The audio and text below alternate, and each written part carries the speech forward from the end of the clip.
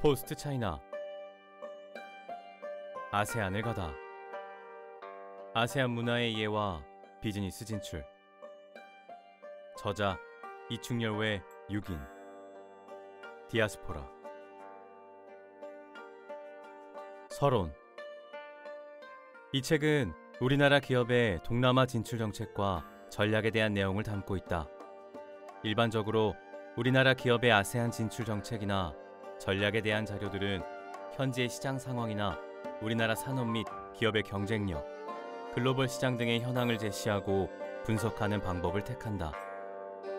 이 때문에 이들 도서는 대부분 경제학이나 경영학 전문가들이 읽고 활용하는 목적으로 사용되고 대체로 표준화된 각종 경제 지표를 제시하면서 비교 우위 및 경쟁력 등의 단어를 사용하여 진출 전략을 설명하고 있다. 이러한 분석은 연구자가 경제 현상을 분석하는데 매우 유용한 방법론이다. 현상을 가치 중립적인 입장에서 접근하여 보다 과학적인 방법에 기초한 현황이 가능하고 분석 해결법을 제시할 수 있다. 실제로 이 방법은 우리나라 기업들의 해외 진출 전략 수립에 많이 사용되어 왔다. 국내 유명 경제연구소의 보고서가 대체로 이 방법론에 기초하여 작성되어 왔다. 그러나 이 방법론은 일정한 한계를 갖고 있다. 제조업을 중심으로 생산 원가가 확실하고 이를 통한 분석이 가능한 경우 매우 유용한 결과를 제시하지만 사람과 사람이 대면한 서비스 산업의 진출 가능성을 설명할 때는 그렇지 않을 수 있기 때문이다. 예를 들어 서로 문화가 다를 경우에 발생하는 각종 문제나 어려움에 대한 분석은 이루어질 수 없다. 예를 들어 상호 간의 음식 문화 차이를 완전히 이해하지 않고 해당국의 식품 산업에 진출하는 것은 매우 어렵다. 또한 문화적 차이에서 오는 저축 성향의 차이를 이해하지 않고서는 금융시장 진출에 성공할 수 없다. 또한 개인과 개인 간의 관계 및 개인과 집단 간의 전통적인 관계를 이해하지 않고서는 외국인이 현지 기업을 운영하기 쉽지 않다. 이 책은 기존 분석의 한계를 극복해 보려는 시도다. 우리나라 기업들이 동남아에서 비즈니스를 수행하는 과정에서 나오는 각종 문제점과 해결 방안을 기존의 경제 지표 위주의 각종 분석과 함께 정치, 사회, 문화 관련 사항을 제시하고 이와 경제와의 관계를 설명하려고 하였다. 이러한 시도는 사실 연구 책임자인 이충렬 교수의 경험에서 나온 것이다. 필자는 일찍이 거시 및 금융산업을 연구한 후 동남아 금융시장과 기관 연구에 매진하면서 기술적인 경제 이론 및 금융 이론 도입으로 이들 금융시장의 현상을 쉽게 설명하기 어렵다는 것을 이해하였다. 또한 현지의 문화 및 사회에 대한 충분한 이해를 하지 못하고서는 이들 지역에 우리나라 산업이 진출하는 것이 매우 힘들다는 것도 인지하였다. 이에 따라 필자는 경제현상 분석에 경제학자뿐만 아니라 사회학자 및 인류학자 등과 같이 협력하기로 하였다. 아세안 지역의 비즈니스 진출과 성공에 대한 연구에 현지 문화와 역사에 대한 연구를 포함하게 된 것이다. 한국 기업의 현지 사업 현황 및 경쟁력 분석에서 단순히 경제적인 지표뿐만 아니라 각종 문화적인 사항을 추가하였다. 본 연구는 모두 2편 8장으로 구성된다. 1편은 동남아의 정치와 문화 등에 대한 설명으로 1장에서 동남아의 정치, 경제, 사회 문화에 대한 전반적인 설명을 한 후 2장에서 문화적 특성, 3장에서 이슬람 문화 및 경제, 4장에서 한류에 대하여 설명한다. 이 편은 우리 기업의 동남아 진출 관련 내용이다. 5장, 6장, 7장은 각각 동남아에 진출한 제조업, 서비스 및 금융업에 대한 설명이고 마지막 8장은 동남아에서의 마케팅 관련 내용을 소개한다. 우리 연구가 앞에서 설명한 본 연구 목적을 충분히 달성하였다고 볼 수는 없다. 비록 아세안 사회나 문화 분석의 인류학자나 사회학자가 참여했지만 경쟁력 분석이나 진출 전략 분석에 이들의 연구 결과나 주장이 확실하게 포함되어 있지 않기 때문이다. 또한 이들과의 협력도 매우 효과적이라고 단언하기도 힘들다. 다만 이러한 시도가 이제 시작되었고 이는 향후 이 분야 발전에 크게 기여할 것이라는 생각은 이 연구에 참여한 모든 저자가 갖고 있다. 앞으로 보다 많은 학제가 한 연구가 이루어지면서 이러한 부분은 더욱 개선할 수 있을 것이라고 생각한다. 2017년 7월 31일 이충렬 제1장. 동남아의 이해. 정치, 경제, 사회, 문화. 이충렬. 현 고려대학교 세종 캠퍼스 공공정책대학 경제통계학부 교수 및 공공정책대학장. 제1절 아세안과 동남아에 대한 이해 1. 아세안의 형성 아세안은 베트남, 브루나이, 인도네시아, 라오스, 말레이시아, 미얀마, 필리핀, 싱가포르, 캄보디아, 태국 등 동남아시아 10개국으로 구성되는 국제협력체를 의미한다. 아세안은 태국, 말레이시아, 인도네시아, 필리핀, 싱가포르 등 동남아 5개국 외교 장관들의 1967년 8월 아세안 창립 선언 혹은 방콕 선언과 함께 시작된 후 베트남, 브루나이, 라오스, 미얀마, 캄보디아가 추가되어 10개국으로 확대되었다.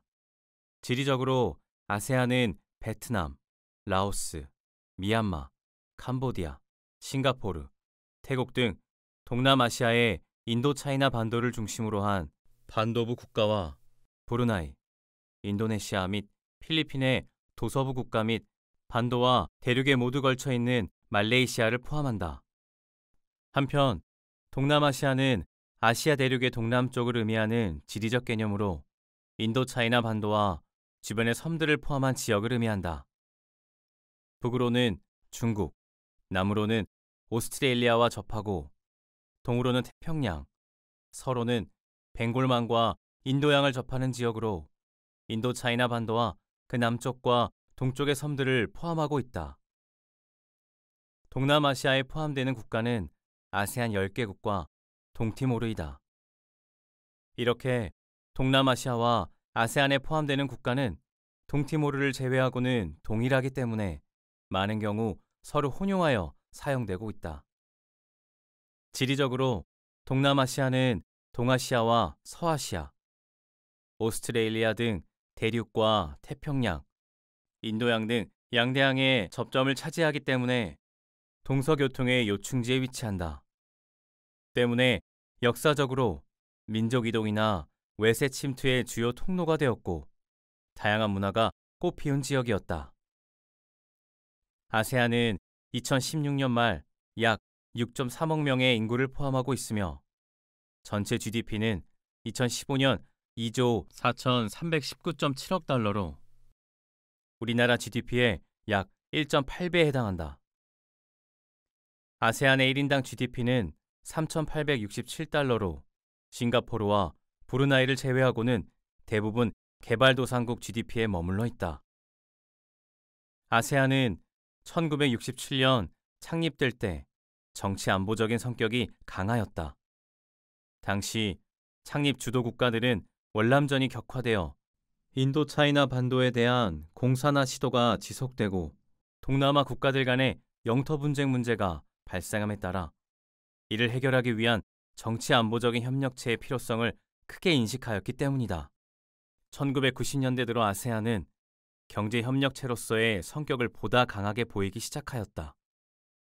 공산주의의 몰락과 냉전 체제의 종식으로 동남아시아 지역 내에서 지역 안보 문제가 상당 부분 해결되었고 중국의 개혁과 개방에 따라 아세안 국가들의 국제 경쟁력 약화 문제를 고려하기 시작하였으며 우루과이 라운드, 북미 자유무역 협정의 탄생으로 지역 경제 협력이 본격화되었기 때문이다. 가. 아세안의 정치, 사회, 문화적인 특징. 소괄호 1. 아세안의 다양성. 아세안 국가들은 기본적으로 국토 면적이나 인구 등의 지정학적 면에서 크게 차이를 보이는 동시에 민족이나 종교 및 정치 체제 면에서 매우 다양한 특징을 갖고 있다. 이를 보다 구체적으로 살펴보면 다음과 같다. 첫째, 아세안 국가들은 국토 면적의 크기와 인구 등에서 차이가 크다. 아세안 국가 중 가장 큰 국가인 인도네시아는 그 면적이 191만 3,597 평방킬로미터에 달하는 반면 가장 작은 국가인 브루나이와 싱가포르는 면적이 각각 5,769 평방킬로미터와 719 평방킬로미터에 불과하다. 이렇게 국토 면적에서 크게 차이가 있게 됨에 따라 인구 역시 크게 차이가 난다. 인도네시아 인구는 255.500만 명인 반면 브루나이는 0.400만 명에 불과하다. 둘째, 아세안 국가들의 민족이 매우 다양하다. 이를 어족으로 분류하면 도서부 전역에 분포하는 말레이족은 오스트로네시아 어족에 속한 반면 대륙부 중 베트남의 비해족, 캄보디아의 크메르족, 태국과 미얀마 산지에 거주하는 몬족 등은 오스트로아시아족에 속한다. 미얀마의 버마족 및 많은 소수 종족들은 중국 티베더족의 한 갈래인 티베 버마어족에 속하며 태국의 다수 종족인 타이족과 라오스의 라오족 및 미얀마 동북부의 샨족 등은 따이 카타이어족에 속한다. 마지막으로 베트남과 라오스 북부 산지의 몽족 등은 미아오, 야오족에 해당된다. 이들 각국들은 다시 세분된 소수 민족들로 구분된다. 예를 들어 베트남은 공식적으로 54개의 민족 집단으로 구성되며 미얀마는 135개, 라오스는 47개 등 다양한 소수 민족 등을 포함한다. 이는 이들 지역이 열대우림 지역이기 때문에 오랫동안 상호 간의 커다란 접촉 없이 독자적인 생활을 영유하였던 결과이다. 셋째, 아세안 국가의 종교 역시 매우 다양하다. 먼저 대륙부 아세안 국가에서 라오스, 미얀마, 태국, 캄보디아는 인도에서 들어온 상자부 불교를 신봉한다. 반면 베트남은 일찍이 중국을 통하여 대승불교 및 도교가 널리 퍼진 국가이다. 브루나이, 말레이시아, 인도네시아는 다수의 국민들이 이슬람교를 믿는데 이는 9세기 이슬람 상인들이 도착하여 전파한 결과이다. 특히 인도네시아는 전체 인구 255.4600만 명 중 무슬림 인구가 87%인 222.300만 명에 달하여 단일 국가로서 세계에서 이슬람 신도를 가장 많이 보유한 국가이다. 필리핀은 카톨릭 신도가 인구의 대부분을 차지하는 국가로 원래 남부의 민다나오를 중심으로 이슬람교가 전파되었으나 16세기 스페인 식민지를 겪으면서 대부분의 지역 주민들이 카톨릭 신자가 되었다. 마지막으로 싱가포르는 19세기 영국에 의하여 건설된 도시로 기독교, 불교, 이슬람교, 힌두교 등의 다양한 종교가 공존하는 곳이다. 넷째, 아세안 국가의 정치적인 제도도 매우 다양하다. 먼저 태국, 말레이시아, 브루나이, 캄보디아는 모두 군주제를 채택하여 국왕에 존재하는 나라이다.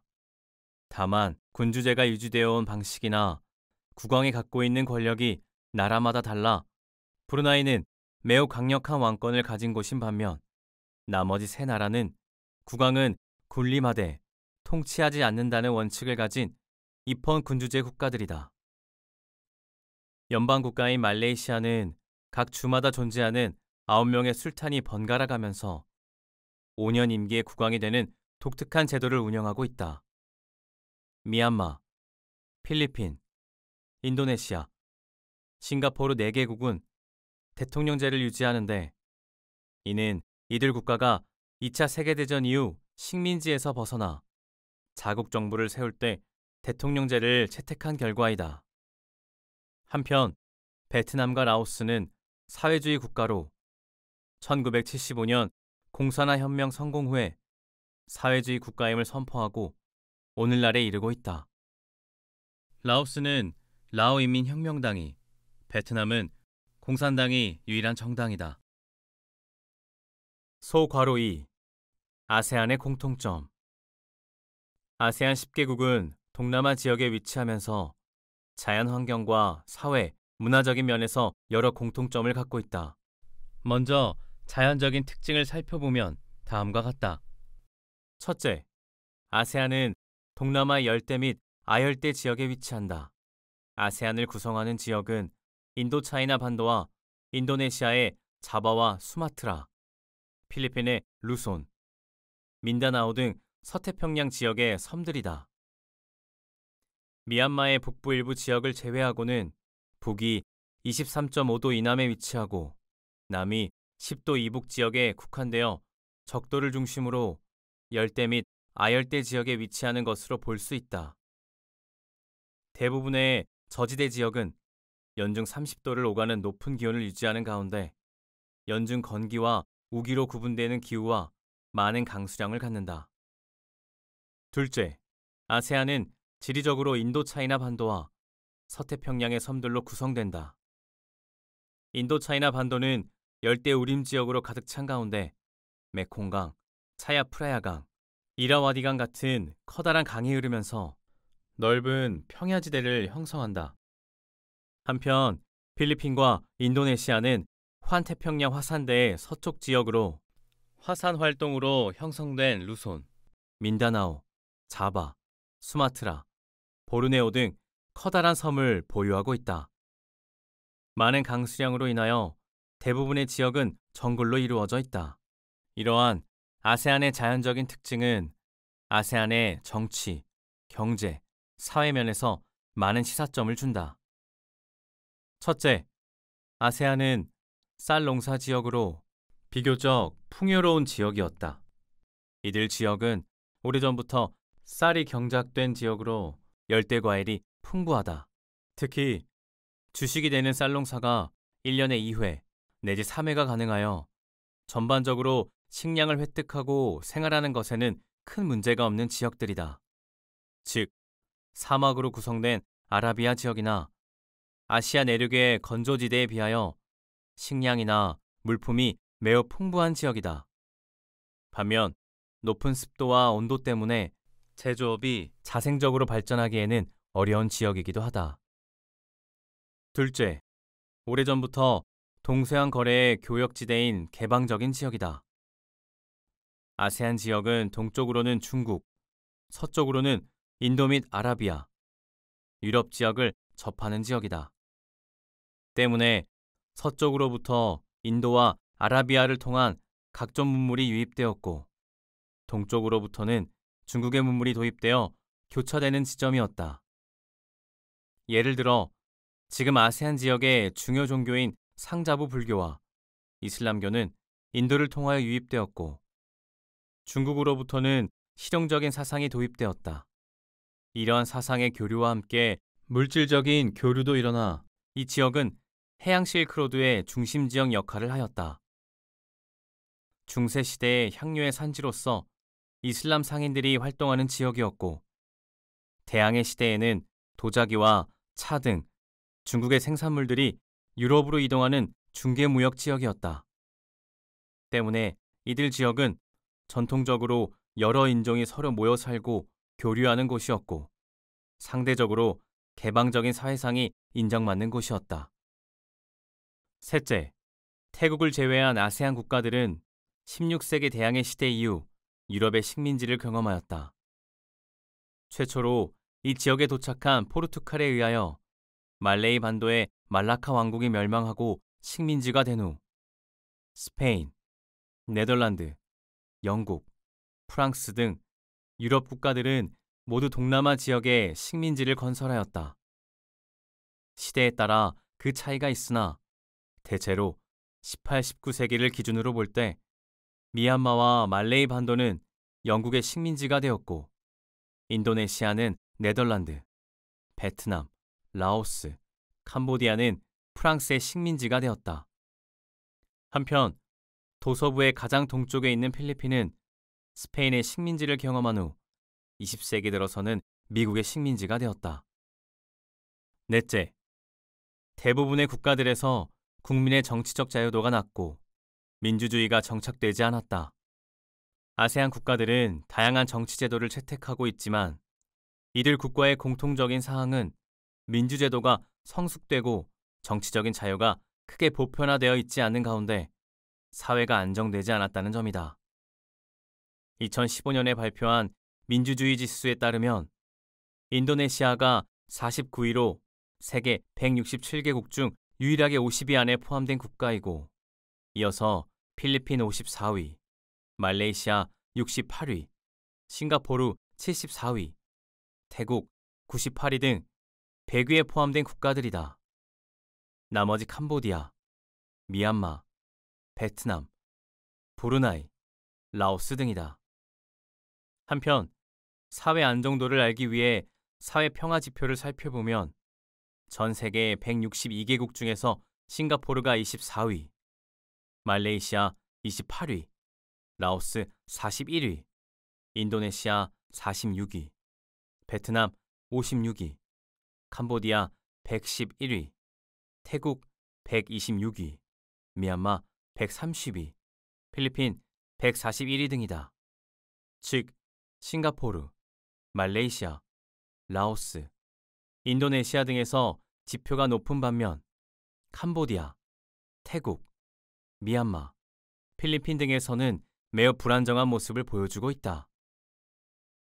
한편 부패 인식 지수를 살펴보면 싱가포르가 8위로 가장 높고 말레이시아 54위, 태국 76위, 인도네시아 88위, 필리핀 95위, 베트남 112위, 라오스 139위, 미얀마 147위, 캄보디아 150위를 차지하여 상대적으로 순위가 낮은 국가들로 이루어져 있다. UN 지속 가능 네트워크가 매년 발표하는 행복 지수에 따르면 싱가포르 22위, 태국 33위, 말레이시아 47위, 인도네시아 79위, 필리핀 82위, 베트남 96위, 라오스 102위, 미얀마 119위, 캄보디아 142 등이다. 소괄호 3. 아세안의 경제적 특성. 앞에서 살펴본 바와 같이 아세안 국가들은 정치, 사회, 문화적인 차이 이외에 경제적인 차이도 크다. 먼저 아세안 전체 평균 1인당 소득은 세계 개발도상국의 평균 수준에 해당되지만 이들 간의 편차는 매우 크다. 아세안의 가장 고소득 국가인 싱가포르의 1인당 소득은 2015년 52,744달러인 반면 가장 저소득 국가인 미얀마와 캄보디아는 각각 1,198달러와 1,246달러에 불과하다. 또한 국가별 경제 규모에서 인구가 250-500만 명에 달하는 인도네시아의 GDP는 8,576억 달러인 반면 인구가 각각 690만과 42만에 불과한 라오스와 브루나이의 GDP는 126.4억 달러와 129.1억 달러에 불과하다. 아세안 각국은 소득 수준 및 경제 규모뿐만 아니라 산업 구조 역시 크게 차이를 보인다. 싱가포르는 금융과 서비스업이 매우 강한 반면에 미얀마와 필리핀은 농산물 및 천연자원을 많이 수출한다. 제조업 중에서도 전자산업은 말레이시아가, 자동차 산업은 태국이 강하며 의류 및 신발 산업은 베트남과 캄보디아가 주류를 이루고 있다. 이러한 이유로 아세안 각국은 영내에서 상호 경쟁하는 동시에 보완하는 구조를 갖고 있다. 예를 들어 아세안의 고소득 국가인 싱가포르는 매우 선진화된 국제 금융 시장을 보유하고 아세안 각국의 투자 중심지 역할을 수행하고 있다. 미국이나 유럽의 투자가들은 아세안 국가에 투자할 때 싱가포르를 경유하여 투자 리스크를 줄일 수 있게 된다. 반면 베트남은 아세안의 주요 제조업 생산 기지로서 싱가포르의 투자금을 받아 공장을 세우고 제품을 생산한다. 이와 같이 아세안 영내 생산 증가에 기여한 싱가포르와 베트남은 상호 보완하는 경제 구조를 갖고 있다. 반면 아세안 국가들 사이에는 치열한 경쟁도 존재한다. 예를 들어 세계적인 쌀 수출국인 태국과 베트남은 세계 곡물 시장에서 베트남, 캄보디아, 라오스 등 저소득 국가들과 함께 선진국 자본을 유치하기 위한 투자 유치 시장에서 치열하게 경쟁하고 있다. 상호 간의 부존 자원이 비슷하고 1인당 소득이 비슷한 이들 지역은 노동 집약적인 산업 구조를 갖고 유사한 제품을 생산하기 때문이다. 결국 이들을 종합적으로 고려하면 아세안은 경제적인 면으로 볼 때 소득 4,000달러 수준의 개도국이라고 볼 수 있지만 세계 최고 소득 수준의 국가와 최빈국이 모두 포함되는 지역으로 상호 경쟁하고 또한 보완하는 역할을 하는 지역이라고 할 수 있다. 2. 아세안 경제공동체 가 아세안 경제공동체란 아세안 경제공동체는 아세안 공동체의 세계 기둥 중 경제 협력의 구체적인 형태로 아세안 10개국이 경제적인 측면에서 상호 경쟁하는 동시에 미래를 위하여 상호 협력할 수 있는 방안을 제시한 것이다.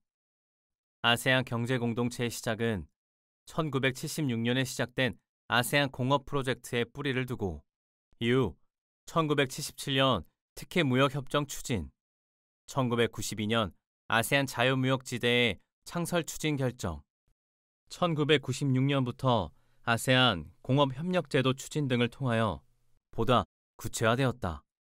당시 아세안의 경제협력은 각국의 강한 실천 의지가 없는 가운데 실시되어 상대적으로 협력은 소극적인 형태에 불과하였다. 이에 아세안은 아세안 경제 공동체라는 보다 구체적인 형태의 경제 협력체를 정의하여 보다 적극적으로 이를 추진하기 시작하였다. 아세안 국가 간 보다 구체적인 형태의 경제 협력은 1997년 12월 쿠알라룸푸르에서 개최한 제2차 비공식 아세안 정상회의에서 아세안 비전 2020이 채택되면서 시작하였다. 아세안 비전 2020은 아세안이 2020년에 달성해야 하는 정치, 경제, 사회적 통합 모습을 개괄적으로 보여주는 것이다. 경제 통합을 역동적인 개발 파트너십으로 표현하여 아세안 자유무역지대 형성, 중소기업 발전, 금융 자유화, 과학 발전, 에너지 확보, 식량 안보 문제 해결, 인프라 개발, 인적 자원 개발, 광업 부분 아세안 협력 강화 등의 과제들을 제시하였다.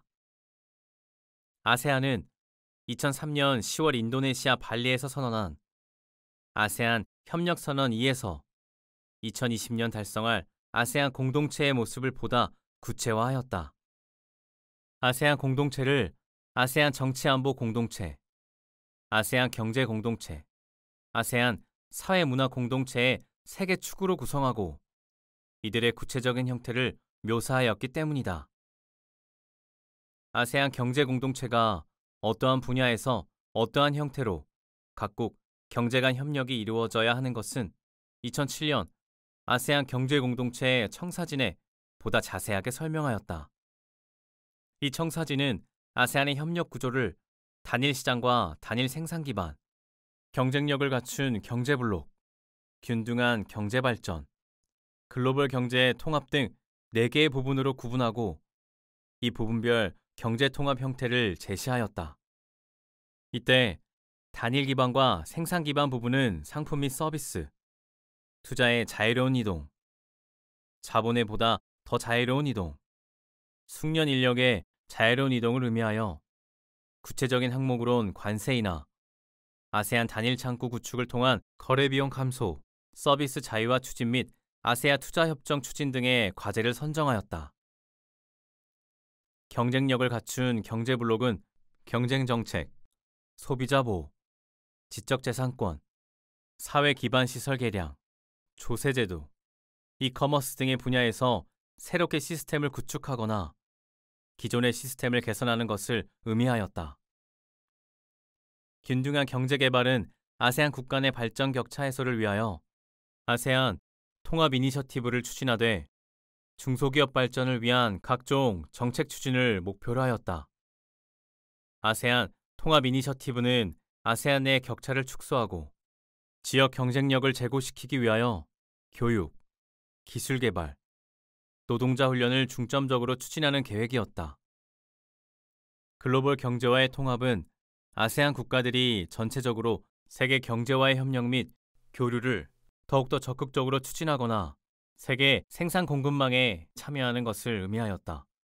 이는 아세안이 한국과 중국 혹은 미국이나 중동 국가 등과 같은 여개 국가들과 새롭게 투자 협정을 체결하고 직접 투자를 유치하는 것이나 타 지역과 자유무역 협정을 추진하는 것 등을 모두 포함하였다.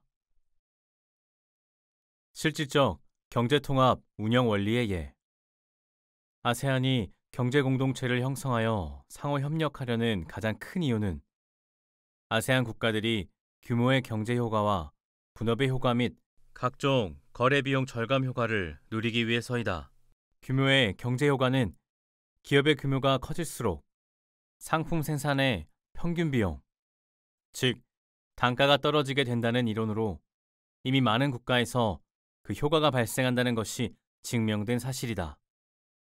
예를 들어 어느 기업이 100개의 자동차를 생산할 때보다 100만 개의 자동차를 생산할 경우 개당 생산 비용은 더 줄어든다는 이론이다. 이렇게 되는 이유 중 가장 대표적인 것이 바로 분업의 효과이다. 한 명의 노동자가 자동차 생산에 필요한 공정을 혼자서 모두 다 하는 것보다 각 공정을 여러 사람이 나누어서 할 경우 보다 효율적으로 생산할 수 있기 때문이다. 한편 거래 비용 절감 효과는 상품이 지역이나 나라를 이동할 경우 발생하는 각종 비용이 자유무역 및 경제 공동체를 형성할 경우 줄어들 수 있다는 이론이다. 이제 이러한 경제적인 효과를 아세안의 예를 사용하여 살펴보자. 먼저 단일 시장과 생산 기반은 아세안 10개국 내의 제품 생산 및 소비를 하나의 국가에서 이루어지는 것처럼 하겠다는 것을 의미한다. 이는 상품 무역, 서비스 무역, 자본과 투자, 인력 이동의 자유화를 의미한다. 상품 무역 자유화의 효과는 인도 차이나 반도 한가운데 위치한 라오스 북부와 남부의 소비자 쌀 구입 패턴 변화를 통하여 알 수 있다. 원래 라오스는 국가 전체적으로 생산량과 수요량이 비슷하기 때문에 수급상에서 큰 문제를 갖고 있지 않다. 그러나 라오스의 북부는 산악 지역이고 남부는 평야지대로 구성되어 대부분의 쌀이 남부에서 생산되기 때문에 지역별 수급은 큰 차이를 보인다. 더욱이 라오스 남부와 북부는 500에서 1000km 이상 떨어져 있는 가운데 도로와 수송수단이 낙후되어서 남부지방에서는 쌀이 싸고 북부지방에서는 상대적으로 매우 비싼 상황이었다. 1970년대 사회주의 혁명 이후 라오스는 상당 부분 고립된 경제를 유지하면서 사회주의 국가인 중국, 베트남, 소련 등과 무역을 하였다. 그러나 중국이나 베트남과의 국경이 험준한 산악 지역으로 되어 있었고 도로가 발달되어 있지 않았으며 소련과의 거리도 멀었기 때문에 무역 규모는 매우 작았다. 때문에 이런 쌀 가격 구조는 상당 기간 유지되었다. 그러나 1990년대부터 주변국인 태국과의 관계가 개선되고 1997년 아세안 가입과 함께 본격적인 라오스의 경제 개방이 시작되며 라오스도 아세안의 일원으로 경제 공동체 구축에 참여하면서 라오스 북부와 남부 지역의 쌀 거래 및 소비 패턴이 크게 바뀌게 되었다. 북쪽 지역은 주변국인 태국으로부터 필요한 쌀을 쉽게 수입할 수 있고 남쪽 지역은 잉여 생산될 쌀을 캄보디아나 태국에 쉽게 수출할 수 있게 된 것이다. 결국 전체적으로는 자급자족하지만 지역별 수급 차이가 컸던 라오스의 쌀 시장의 구조적인 문제가 주변국과의 무역으로 쉽게 해결된 것이다. 또 다른 예로 베트남 남부의 호치민 시티와 북부 하노이 간의 의류 거래를 고려해 볼 수 있다. 남부 호치민 시티의 소비자가 하노이에서 생산된 의류를 구입할 경우를 고려하자. 이때 하노이에서 생산된 의류는 남부 호치민 시티까지 약 1700km를 이동하여야 하기 때문에 생산 이후 소비자의 손에 들어가기까지 기차로 2일, 자동차로는 3일 이상의 시간이 걸리고 각종 추가 비용이 발생한다. 그러나 호치민 시티의 소비자가 이웃 국가인 캄보디아의 푸놈펜에서 생산된 의류를 구입할 경우 이 문제는 보다 쉽게 해결될 수 있다. 두 도시 간의 거리가 250km에 불과하기 때문에 생산 직후 상품을 구입할 수 있고 운송료와 창고료의 비용도 줄어들어 상품 가격도 싸진다. 또 하나의 예로 영내 서로 다른 국가들이 보유하는 기술과 원자재가 협력하는 경우를 고려하자. 태국은 2016년 현재 상당한 수준의 공업화가 진행되어 1인당 소득 6,000달러 수준에 도달한 반면 주변국인 캄보디아는 농업 기반 사회로 1인당 소득이 1,700달러 수준에 그치고 있다. 따라서 이 두 국가가 보유한 자원과 기술 수준은 서로 커다란 차이를 보인다. 농업 중심 국가인 캄보디아는 현재 파인애플이나 바나나, 잭프루츠와 같은 열대 과일을 많이 생산하고 있다. 캄보디아의 농부들은 이를 국내 시장에서 판매하여 소득을 얻는다. 그런데 이곳에서 약 5,000km 떨어진 한국이나 일본의 소비자들은 매우 비싼 값을 내고 이 과일을 사 먹는다. 이 과일이 신선한 상태로 한국이나 일본에 도착하려면 냉동 이동 시설을 사용하여야 하는데 이 비용이 비싸기 때문이다. 이러한 문제점을 해결하기 위하여 일부 동남아 식품 회사들은 열대 과일을 건조한 스낵을 만들어 판다. 이 스낵은 사실 한국의 슈퍼마켓에서도 팔리는 것으로 맥주 안주로도 좋은 식품이다. 그런데 캄보디아는 아직까지 이러한 건조 및 포장 기술을 보유하지 못하기 때문에 과일 가공 스낵을 만들 수 없다. 이 경우 캄보디아에서 생산된 과일이 이웃 국가인 태국의 과일 건조 공장을 거치면서 보다 부가가치가 높은 상품으로 변환된다. 캄보디아의 농부는 과일을 판매해서 좋고 태국의 건조 공장은 값싼 캄보디아로부터 과일을 공급받아서 좋다. 또한 한국과 일본의 소비자들은 값싸게 열대 과일 스낵을 먹어서 좋은 것이다. 물론 캄보디아에도 과일 가공 공장이 세워진다면 캄보디아의 농부가 갖게 되는 소득이 더 커지겠지만 이는 보다 장기적으로 해결될 문제이다. 영내 새로운 상품 공급 체인이 발생하고 국제 경쟁력이 강한 상품이 탄생하는 것이다. 이는 아세안 경제 공동체의 탄생으로 태국의 자본과 기술이 캄보디아의 원자재가 결합할 경우 새로운 부가가치 상품의 창출이 가능하다는 것을 보여주는 예이다. 사실상 이러한 현상이 캄보디아뿐만 아니라 미얀마 및 라오스에 적용될 경우 인도차이나 반도에 있는 아세안 5개국이 모두 다 이득을 얻을 수 있는 구조가 되는 것이다. 또 다른 예로 자본 및 투자 자유화를 들 수 있다. 싱가포르의 평범한 회사원이 월급을 저축하여 금융기관에 예금하는 경우를 고려하자 2016년 말 현재 잉여 자금이 많은 싱가포르의 은행 이자율은 연리 0.35%인 반면 싱가포르에서 다리 하나 건너 있는 말레이시아와 싱가포르 해협 건너에 있는 인도네시아는 만성적인 투자 및 자금 부족을 겪어서 각각 3.5%및 6%의 이자를 제공한다. 만약 싱가포르와 말레이시아, 인도네시아의 금융시장이 서로 개방되어 있지 않으면 이 싱가포르의 회사원은 0.35%의 이자율에 만족하여야 한다. 그러나 이들 국가의 금융시장이 상호 개방되어 있으면 싱가포르의 회사원은 보다 높은 이자율을 제공하는 인도네시아의 은행에 예금할 수 있게 된다. 반면 인도네시아의 은행은 자국 내 기업에 제공할 수 있는 자금을 획득하는 것이므로 대출 증가를 통하여 자국 생산 증가에 기여할 수 있게 된다. 결국 싱가포르의 회사원도 인도네시아의 은행도 서로 이득을 보는 사태가 발생하게 되는 것이다. 물론 각국의 통화가 서로 다르기 때문에 환율 변동 리스크는 고려하여야 하는 문제가 있지만 단순하게 이 문제는 크지 않다고 가정하자.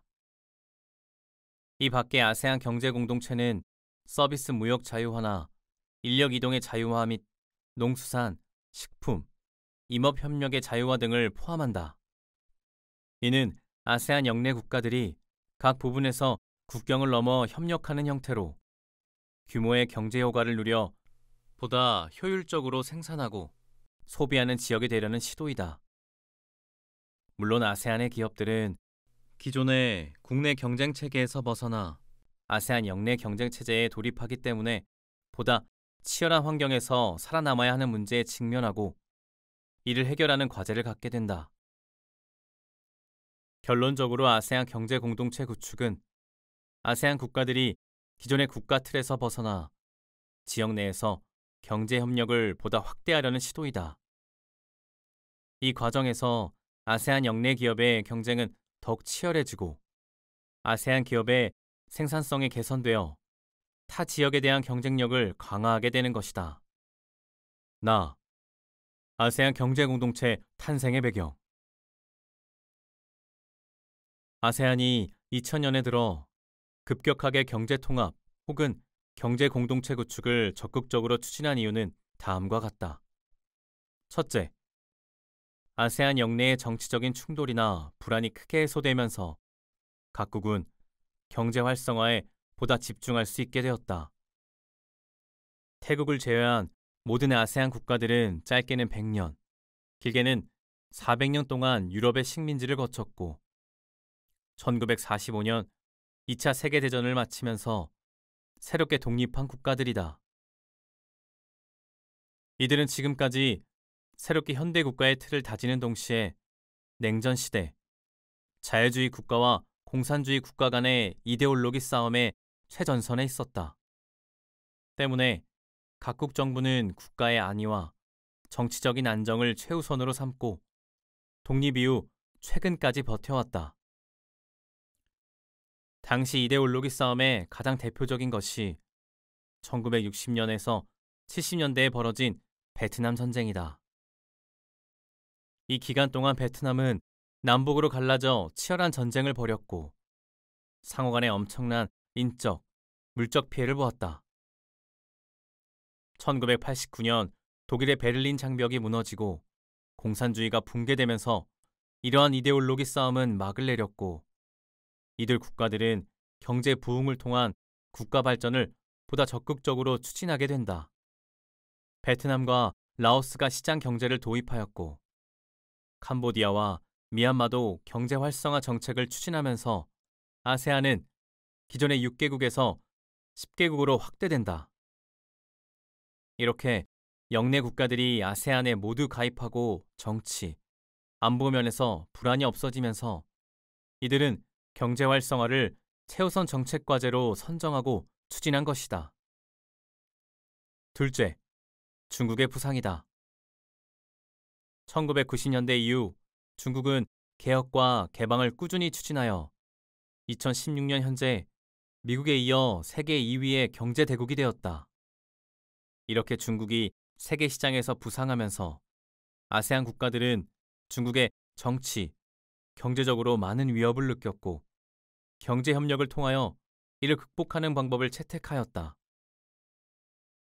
이들은 중국이 13억 인구의 거대한 대륙으로서 규모의 경제 효과를 적극적으로 활용한다는 점을 이해하고 아세안 각국은 경제 규모가 너무나도 작다는 것을 인정하였다. 그리고 아세안 영내 국가들이 중국과 경쟁에서 살아남기 위하여 상호 협력이 필수 불가결하다는 점을 이해하게 되었다. 셋째, 유럽 경제 통합의 효과를 직접 보게 되었다. 유럽연합은 1950년대 이후 지속적으로 경제 통합을 추진하여 급기야 1999년에는 유로화를 도입하여 사용하는 수준에 이르렀다.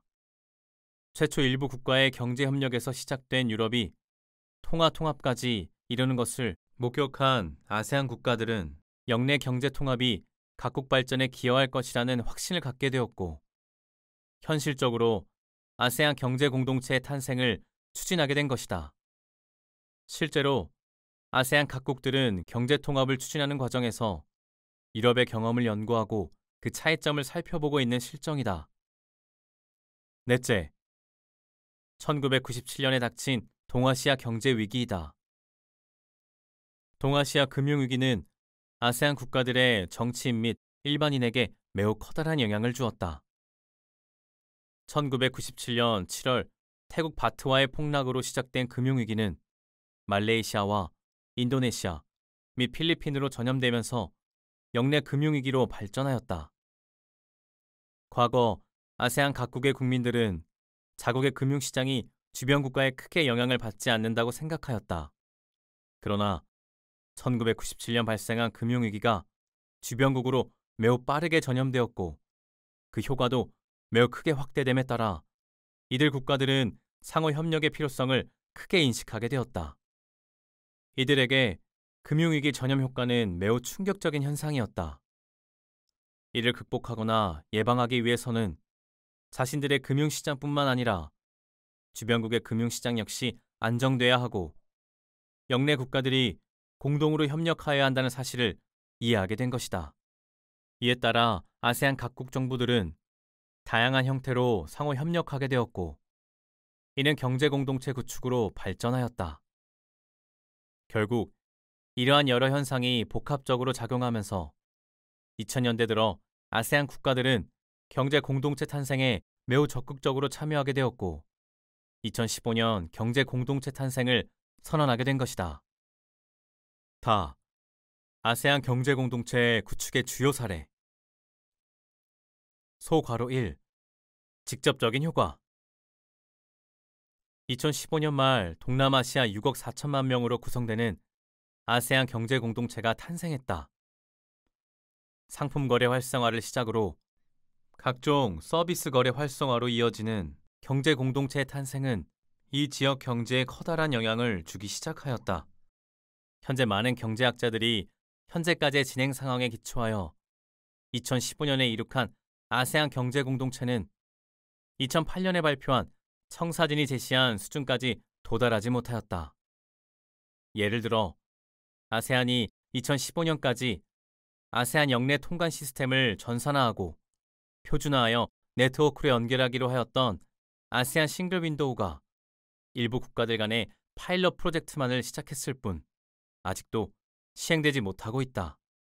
일부 국가들이 자국 내 통관 시스템을 전산화를 완성하지 못하였고 이미 자국 내 시스템을 완성한 국가들끼리도 협력에 적극적이지 않았기 때문이다.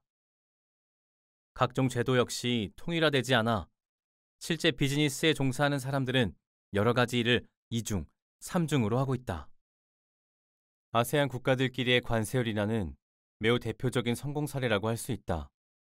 이 기간 동안 아세안 국가들 간의 상품 수출입 시 관세율이 크게 하락하였고 상호 무역도 크게 증가했기 때문이다.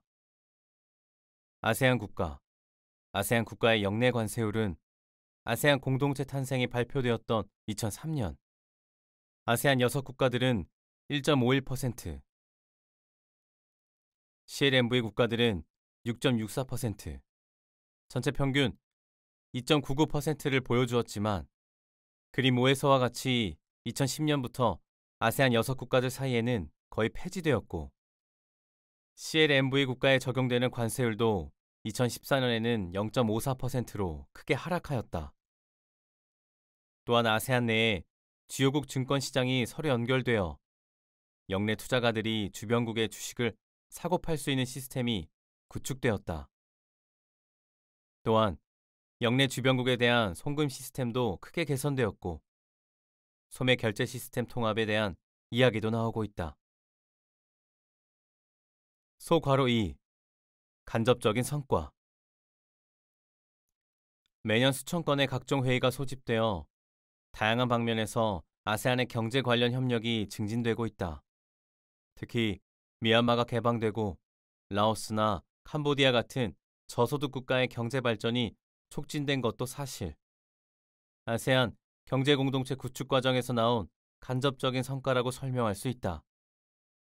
메콩 개발과 같이 여러 국가가 참여하는 프로젝트가 적극적으로 추진되는 건 역시 아세안 경제 공동체 구축과 관계가 깊다고 할 수 있다. 상호 신뢰와 협력에 기반하여 이러한 대형 프로젝트가 추진될 수 있기 때문이다.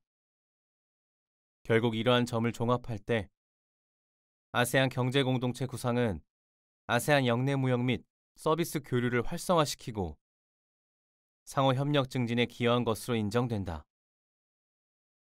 이러한 노력은 아세안의 무역 및 경제 성장률 추이와 미래 예측지에 잘 나타난다. 소괄호 3 공통적인 제도 구축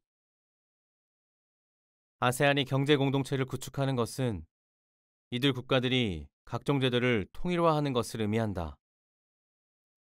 아세안 10개국이 서로 다른 역사적인 배경과 다양한 사회 구조화에서 발전한 각종 제도를 통일하는 것은 쉽지 않은 일로 이는 매우 다양한 범위에서 실시되었다. 따라서 이를 모두 살펴보는 것은 어렵기 때문에 이 장에서는 소비자 보호 제도 구축과 아세안 single window 구축 사례를 통하여 살펴보기로 한다. 아세안 경제 공동체 청사진에서 아세안은 2015년까지 아세안의 통관 시스템을 single window 시스템으로 구축하는 방안을 제시하였다. 이는 아세안 각국이 전자 통관 시스템인 single window 시스템을 구축한 후 이를 다시 연결하여 구축하는 시스템으로 계획되었고 2015년 경제 공동체 선언과 함께 시작될 예정이었다. 당시 아세안은 single window 도입을 위하여 아세안 single window 구축위원회를 결성하고 기술 분야 작업반과 규제 분야 작업반을 두고 계속 협의를 진행하였다. 그러나 아세안 single window 시스템 구축은 2016년 말 현재 완성되지 않고 구축되는 과정에 있다. 이는 새로운 제도의 구축뿐 아니라 정부와 시스템 구축 및 법률 제정 등 매우 종합적인 사항이 필요한데 당시 이에 대한 충분한 분석이 이루어지지 않고 계획이 수립되었기 때문이다. 한편 아세안은 아세안 소비자 보호 프레임워크와 각국의 소비자 보호 문제 해결을 위하여 2007년 8월 아세안 소비자 보호 위원회를 창설하고 공동의 노력으로 이를 추진하였다. 당시 아세안은 아세안 소비자보호위원회 산하에 3개의 작업반을 두고 국가 간 소비자 보호 문제 해결을 위한 협력체 구축을 추진하였다. 그러나 캄보디아, 라오스, 베트남 등 아세안 내 후발 개도국에서는 소비자 보호 관련 법률이나 규정이 제대로 만들어져 있지 않고 일부 구축되어 있지만 활용도가 매우 낮다고 할 수 있다. 라. 아세안 공동체 구축의 성과 소괄호 1 교역량과 해외 직접 투자. 경제 성장률 증가. 그림 6은 아세안의 전체 교역량 및 세계 교역량 대비 아세안이 차지하는 비율을 보여준다. 아세안의 전체 교역량은 경제 공동체 건설이 추진되는 2006년부터 2011년까지 매우 빠르게 증가했고 세계 전체 교역량 대비 비율이 2006년에 5.6%에서 2012년에는 6.8%대에 이른다. 또한 아세안으로의 외국인 직접 투자도 매우 크게 증가하였다. 아세안 경제 공동체 건설이 추진되면서 아세안 경제에 대한 기대감이 형성되어 외국인들의 아세안에 대한 투자는 매우 빠르게 증가하게 되었다. 그림 7과 같이 아세안에 대한 직접 투자는 2003년에는 293억 달러에 불과하였으나 2014년에는 4배나 증가한 1361.8억 달러를 기록하게 된다. 그리고 최종적으로 이러한 아세안의 무역 증대와 외국인 직접 투자 증가는 아세안이 높은 경제 성장률을 유지하는 데 기여하였다. 그림 8과 같이 아세안의 연간 경제 성장률은 2006년 이후 글로벌 금융위기가 닥친 2009년을 제외하고는 지속해서 5%대를 유지하였는데 그림 그와 같이 2000년 이후 10여 년에 걸쳐 5% 이상의 높은 경제 성장률을 기록한 곳은 아세안과 사라 사막 이남의 아프리카 지역과 중국에 불과하다. 소괄호 2. 산업 구조의 고도화 아세안의 높은 경제 성장은 아세안의 산업구조 개선을 통하여 이루어졌다. 그린 10과 같이 아세안에서 생산성이 낮은 농업의 비중은 2006년 17%에서 2013년 14%로 하락하였고 서비스 산업의 비중은 45%에서 49%로 상승하여 보다 생산성이 높은 비농업 분야로의 산업구조 개선이 이루어졌다. 한편 이러한 아세안의 교역 증대 및 서비스 거래 활성화 효과는 향후 더욱더 가속화될 것으로 예상된다. 지금까지 아세안이 이룩한 것이 각종 제도적인 변화로 인한 것이므로 시장 참여자들이 이를 활용하려면 일정한 시간이 소요될 것이기 때문이다. 더욱이 앞으로도 이러한 제도 개혁이 지속될 것으로 예상되기 때문에 이러한 효과는 더욱더 활발해질 것이다. 그림 9의 IMF 예측치에 따르면 2016년, 2020년 전 세계 지역별 경제 성장률에서 아세안의 경제 성장률이 가장 높은 수준으로 나타나는데 이는 바로 이러한 아세안의 변화를 반영하기 때문이다. 마. 아세안 경제 공동체 구축의 어려움과 한계. 소괄호 1. 영내 교역 비율의 정체. 그림 11에서 보듯이 아세안의 영내 교역 비율은 2010년 이후 계속하여 하락하는 모습을 보이고 있다. 2006년 아세안의 전체 교역에서 영내 교역이 차지하는 비율은 25.1%이었으나 2010년 25.4%를 기록한 후 계속 하락하여 2015년에는 23.9%를 기록하였다. 아세안의 경제 공동체를 탄생시키기 위하여 영내 무역을 활성화하려고 노력하였지만 실제 이는 현실화되지 않았다는 이야기이다. 그리고 이는 이 기간 동안 무역 규모가 증가한 것이 아세안 영내 무역보다는 주변국인 한국이나 일본, 중국과의 무역이 증가하였기 때문이다. 즉, 비록 아세안이 경제 공동체 탄생 과정에서 대외 개방도가 증가하고 경제 활성화 정책을 추진한 것이 효과는 있었지만 이것이 아세안 내부의 무역 활성화보다는 주변국과의 무역 활성화에 더욱 기여하였다는 것이다. 소괄호 2. 높은 소득 격차 아세안은 소득 격차 해소에도 별 성과를 거두지 못하였다는 주장이 제기된다. 그림 12는 아세안 10개국 중 소득상위 2개국인 싱가포르와 브루나이를 제외한 8개국의 1인당 GDP 추이다. 이를 보면 말레이시아와 태국의 1인당 GDP는 지난 2000년 이후 크게 증가하여 각각 1만 달러 수준과 5천 달러 수준을 초과하였지만 아직도 캄보디아, 라오스, 미얀마 등은 2,000달러 미만의 낮은 소득을 보이고 있다. 더욱이 이 그림에 포함되지 않은 싱가포르의 1인당 소득은 2014년에 5만 6천 달러에 이르러 과연 아세안 경제 공동체 건설이 이 지역의 균등한 발전에 기여하였는가에 대한 논란이 제기된다. 그리고 아세안의 발전이 주로 대기업 중심으로 이루어지고 중소기업의 역할이 줄어들 것이라는 주장도 제기되고 있다. 경제 규모가 커짐에 따라 이를 총괄하게 되는 대기업의 역할이 더욱 커질 것이고 상대적으로 지역 민간을 상대하였던 중소기업들은 오히려 영내 대기업과의 경쟁으로 더 어려워질 것이라 예상되기 때문이다. 소괄호 3. 아세안 공동체 구축의 어려움. 아세안은 경제 공동체를 추진할 경우 여러 이점을 갖게 되지만 이러한 경제 공동체를 구축하는 것은 말처럼 쉽지 않다. 아세안이 직면한 현실에서 여러 어려운 점이 발생하고 또한 경제 공동체를 구축하는 과정에서 다음과 같은 여러 가지 해결해야 하는 문제점도 발생하기 때문이다. 첫째, 아세안 국가의 상당수가 저소득 국가라는 점이다. 아세안 경제 공동체 구축은 10개국이 하나의 공통된 제도를 구축한다는 것이다. 이때 이러한 공통된 제도를 구축하려면 먼저 기존의 각국 제도를 연구한 후 이들에게 적합한 이상적인 제도를 디자인하고 이를 단계별로 실천하여야 한다. 현재 아세안 국가의 대부분은 개발도상국이기 때문에 이러한 구축 과정을 실천하기 매우 어려운 실정이다. 이를 실천하려면 관련 분야에 많은 고급 인력을 확보하고 관련 예산을 사용하여 추진하여야 하지만 아세안은 이러한 인적 및 물적 자원을 보유하고 있지 못하기 때문이다.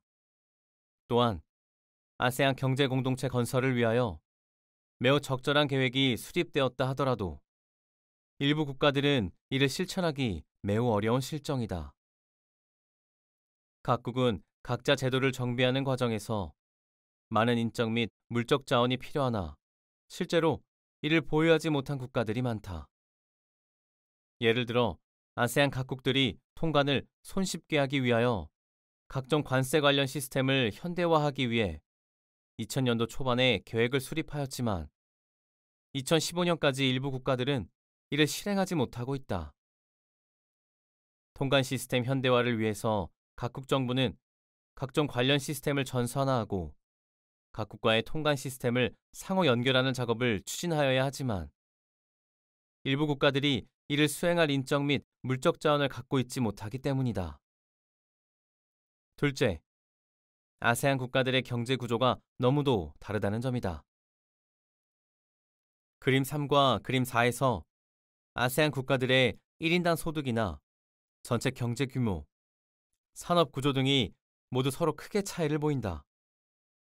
이렇게 아세안 각국의 경제 규모 및 수준이 크게 차이를 보임에 따라 이들 국가의 경제 공동체를 추진하는 과정에서 많은 어려움이 발생한다.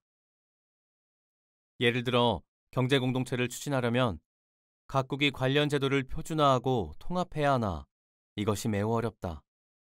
가장 선진화된 싱가포르 기준으로 제도를 통합하는 것이 이상적이지만 다른 국가들이 싱가포르 수준의 제도를 단기간에 구축하는 것은 불가능하다.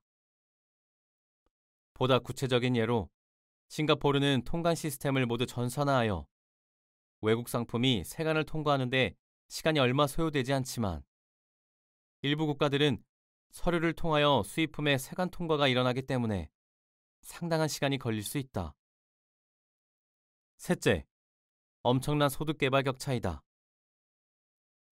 아세안 국가들 내에서 노동력 이동을 자유롭게 하는 것이 경제 공동체 형성에 매우 중요한 요소인데 경제력 차이가 크다는 점은 이를 추진하는데 어려운 점이 된다. 급격한 사회 불안을 초래할 수 있기 때문이다. 예를 들어 2016년 현재 싱가포르의 1인당 소득 52,960달러는 이웃 국가인 인도네시아의 1인당 소득 3,604달러보다 15배나 많다. 이렇게 소득 격차가 클 경우 양쪽 국가의 노동력 이동을 자유롭게 하기 힘들다. 즉, 인도네시아의 노동자들은 싱가포르 노동자의 임금이 훨씬 높다는 사실을 인식하고 싱가포르 이주를 적극적으로 추진하게 될 것이므로 결국 대규모의 인구 이동을 초래할 수 있다. 이러한 대규모의 인구 이동은 대도시의 주거 문제와 교통 문제 및 범죄 증가 등 다양한 사회 문제를 유발할 수 있기에 싱가포르는 이를 원하지 않을 수 있다.